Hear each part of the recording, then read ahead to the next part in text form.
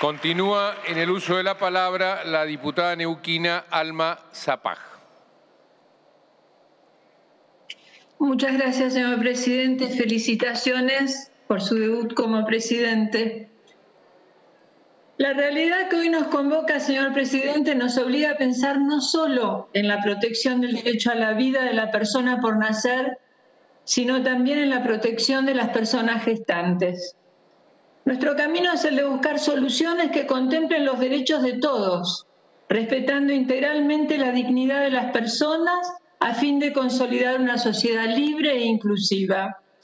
No estoy de acuerdo por una concepción filosófica de la vida. Sabemos que las personas gestantes recurren al aborto porque sienten que es la única solución. Muchas veces lo hacen bajo contextos de vulnerabilidad, violencia de género, desigualdad económica, opresión, falta de educación, entre otros que las hacen pensar que no hay alternativas. No hay persona que bajo este contexto pueda elegir con libertad. ¿Y quién puede creer que el aborto va a ayudar a resolver estos problemas? El aborto no es la solución, señor presidente.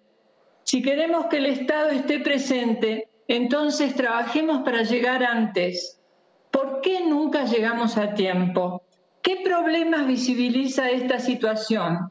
¿Que los servicios de salud sexual y reproductiva se brindan de manera desigual y discriminatoria? que las políticas públicas no llegan a todas las personas, que como sostiene la ONU, los embarazos en la adolescencia son más comunes en los hogares más pobres y se deben más a una falta de acceso a métodos anticonceptivos que el deseo de tener hijos. En resumidas cuentas, estamos fallando, señor presidente.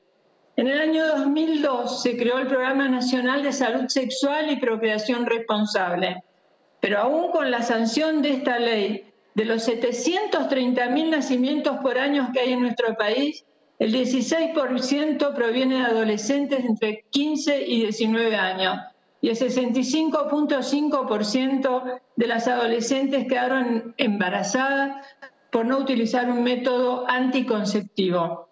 Entonces, entendemos que gran parte de su aplicación ha fracasado.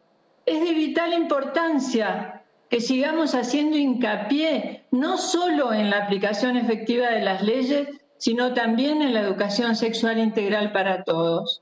Necesitamos un Estado activo y presente, con fuerte trabajo en la prevención. Sí, señores diputados, fuerte trabajo en la prevención.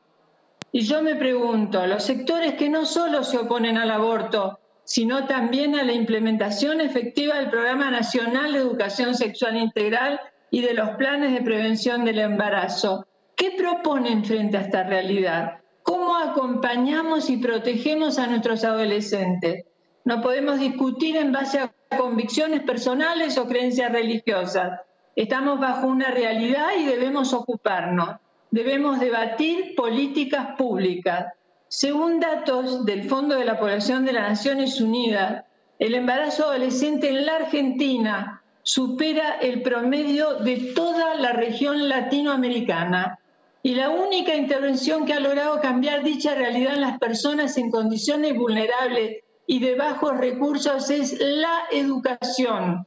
No solo la educación sexual, sino la educación en general, que puede finalizar el colegio secundario, porque una joven adolescente que conoce a través de la educación, que tiene oportunidades de vida distintas a asignadas por su entorno, será una joven con más chances de pensar en un proyecto para sí misma que vaya más allá de la gestación y las tareas de cuidado. En nuestro país, solo el 50% de los adolescentes termina la secundaria. Debemos priorizar acciones que mejoren la prevención del embarazo, tenemos que alcanzar a las adolescentes aisladas geográficamente, las de las comunidades originarias y quienes se encuentran excluidas del sistema escolar. En Neuquén, en mi provincia, la política sanitaria hace un gran esfuerzo para aplicar todos los planes nacionales y provinciales de educación sexual integral, distribución gratuita de anticonceptivos, de amplio acceso, captación temprana de embarazadas con controles de embarazo de bajo y alto riesgo, diagnóstico prenatal, partos seguros y talleres de crianza. Yo no quiero que ninguna persona sienta culpa o remordimiento por pensar en el aborto como única solución. Vergüenza deberíamos sentir todos nosotros como Estado por llegar siempre tarde pretendiendo tapar años y años de abandono.